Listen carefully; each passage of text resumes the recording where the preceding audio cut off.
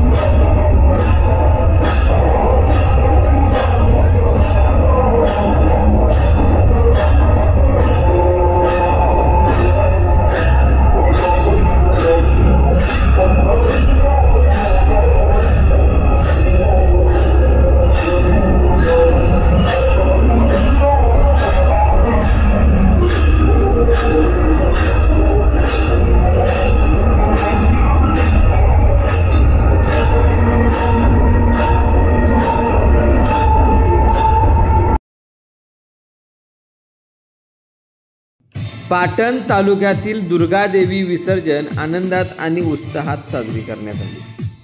अशाच काही अपडेटसाठी पाहत राहा लोकसम्राट महाराष्ट्र न्यूज